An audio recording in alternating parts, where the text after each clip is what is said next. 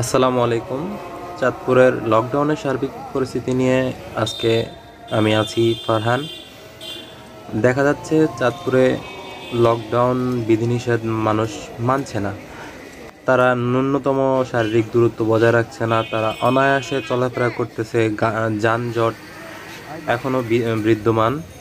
তাদের মুখে মাস্ক নেই, তারা স্বাস্থ্যবিধি মেনে চলছে না। আমার মনে হচ্ছে তারা এখনও জানেই না যে চাঁদপুরে করোনা মহামারী আকার ধারণ করেছে। চাঁদপুরে আইসোলেশন ওয়ার্ড অলরেডি ভর্তি হয়ে মানে ফিল আপ হয়ে গেছে। রুগী ধারণ ক্ষমতার বাইরে চলে গেছে। তাদের মধ্যে ন্যূনতম সেই সচেতনতাটা নেই যেটা থাকার দরকার। আইন শৃঙ্খলা বাহিনী কাজ করছে ঠিকই, কিন্তু তাদের ফা- চোখে ফাঁকি দিয়েও তারা অনেক কিছু করে আসছে। আমাদের কালীবাড়ি মোড় দেখা যাচ্ছে যে আইন শৃঙ্খলা বাহিনী আছে। আইন শৃঙ্খলা বাহিনী দেখতে পেলেও তাদের মধ্যে কোনো অ্যাক্টিভিটি আমরা ফলো করতে পারতেছি না। কারণ হচ্ছে অনায়াসে যাতায়াত চলতেছে মানুষজন এদিক সেদিক মানে নানা অজুহাতে চলতেছে। কয়েকজনকে জিজ্ঞেস করলাম ভাই মাস্ক পরেন নাই কেন? ওনারা বলতেছে শ্বাস নিতে কষ্ট হয়। হ্যাঁ, নানা রকম অজুহাত। অজুহাত দিয়ে তারা ঘুরে বেড়াচ্ছে অনায়াসে। তো আমাদের আইন শৃঙ্খলা বাহিনীর আরও তৎপর হওয়া উচিত। আমি শুধু চাঁদপুর শহরের চিত্রটা ধারণ করেছি।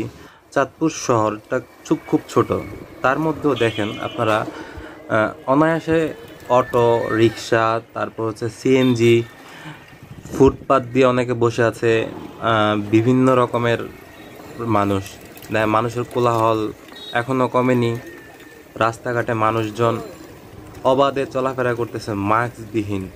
আইন শৃঙ্খলা বাহিনী যখন মাঠে নামে, তখন রাস্তার মধ্যে কাউকে দেখা যায় না, সব দোকানপাট বন্ধ। কিন্তু তাদের গাড়ি যখন চলে যায়, ঠিক তখনই তাদের আবার সেই আগের মতো অবাধে চলাফেরা চালু হয়ে থাকে। সেটা আমি লক্ষ্য করেছি নিজে। তো এই জন্য আমি আপনাদের সামনে এই ভিডিওটা তুলে ধরলাম। দেখেন, আপনারা আইন শৃঙ্খলা বাহিনী যাওয়ার পরের অবস্থাটা কি হয়? রাস্তাঘাটে মানুষ ওনাদেরকে বলে লাভ নেই কারণ ওনাদের মধ্যে ন্যূনতম ওই সচেতনতার জ্ঞানটুকু নাই। লকডাউনটা আসলে কি? ওটাও ওনাদের মানে, জ্ঞানের বাইরে। তো ওনাদেরকে বলে লাভ নেই। ওনাদের একজনকে জিজ্ঞেস করেছিলাম যে লকডাউনটা আসলে কেন দেওয়া হয়েছে? ওনারা একজন বলল যে লকডাউনটা দিছে আমাদের মারার জন্য সরকার। সরকার চায় যে আমরা মরে যাই। তো আর কিছু বলার নেই। আমার সত্যি হাসি পাচ্ছে। শহর থেকে একটু সাইডে গ্রাম বলা যায় বিষ্ণুদি রোড। বিষ্ণুদি রোডে গেলাম যে দেখলাম যে ওখানে মানুষজন যেভাবে চলাফেরা করতেছে একদম স্বাভাবিক যে কোনো লকডাউন নেই, ওখানে কোনো করোনা অ্যাটাক করে নাই, কোনো মানুষ মারা যায় নাই ওনারা স্বাভাবিক একদম নর্মাল চলাফেরা। কারও মুখে মাস্ক আছে, তো কারও মুখে মাস্ক নেই। যারা সচেতন তারা মাস্ক আমি প্রশাসনের দৃষ্টি আকর্ষণ করে বলছি, এই যে বিষ্ণুদি এলাকাটাতে একটু নজর দেওয়ার জন্য, কারণ এখানে মানুষজন অতটা সচেতন না। কারণ এই এলাকাটা ওভার পলিউটেড অ্যান্ড আমি যত মানে চাঁদপুরের মধ্যে দেখলাম যে এখানেই সবচেয়ে বেশি মানুষ মাস্ক পরে নাই। মাস্ক ছাড়া খুব অনায়াসে হাঁটাচলা করতেছে। তাদের মধ্যে ওই জ্ঞানটুকু নাই যে চাঁদপুর এখন মোটামুটি খুব ভয়াবহ অবস্থার মধ্যে আছে। তো প্রশাসন যদি একটু কড়া নজর দেয়, তাহলে হয়তো এই জিনিসটা সলভ হইতে পারে। প্রশাসন যদি এই ব্যাপারটাতে একটু কড়া নজর না দেয়, তাহলে অবস্থা খুব ভয়াবহ হবে। যা আমাদের জন্য একটি হুমকি স্বরূপ। এখন আসি বিপণীবাগ এলাকায়। বিপণীবাগ এলাকায় মানুষ নেই। দেখেন, কোনো মানুষ নেই।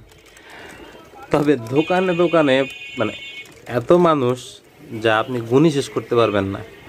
আর মাস্কের কথা নাই বললাম, কারণ মাস্ক তো চাঁদপুরবাসীর জন্য তৈরি হয় না তাই না? মাস্ক তো চায়না থেকে আসছে, মাস্ক তো ভারত থেকে আসছে। চাঁদপুরবাসী তো ভারত দেখতেই পারে না। আর কি, ওনারা ভারত থেকে ভ্যাকসিন আসলো, অ্যাস্ট্রাজেনেকা, সেটাও নিল না। তারপর মাস্ক চায়না থেকে আসছে। চায়না করোনা ভাইরাস তৈরি করছে। তো ওনাদের এটা ধারণা, এই জন্য চায়নার জিনিস পরবেও না। চিত্রলেখার মোড়ে দেখেন। কিছু বলার নাই আমার, আপনারা দেখেন।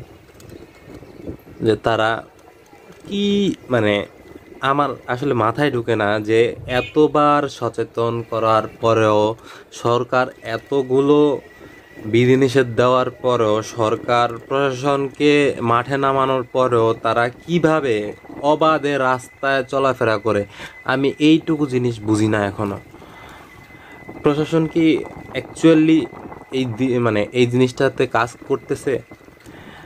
আমার মনে হয় যে কিছুতে এক, কিছুতে একটা গ্যাপ আছে। কারণ হচ্ছে সকালবেলা দেখি প্রশাসন খুব ভালো অ্যাক্টিভ দুপুরবেলা নাই, দুপুরবেলা জনগণ অ্যাক্টিভ আবার বিকালবেলা, বিকাল শেষে প্রশাসন অ্যাক্টিভ তখন আবার জনগণ নাই। সন্ধ্যার পরে মোটামুটি যাই হোক, এখন এইসব বিষয় নিয়ে কথা বলতে গেলে অনেক লম্বা হয়ে যাবে। আমি শুধু বলব যে প্রশাসনের দৃষ্টি আকর্ষণ করে বলছি প্লিজ ভাই, ওনাদেরকে দরকার হলে লাঠি পেটা করেন, তবুও মাস্ক পরান। আর ওনাদের অবাধে চলাফেরাটা একটু কমান।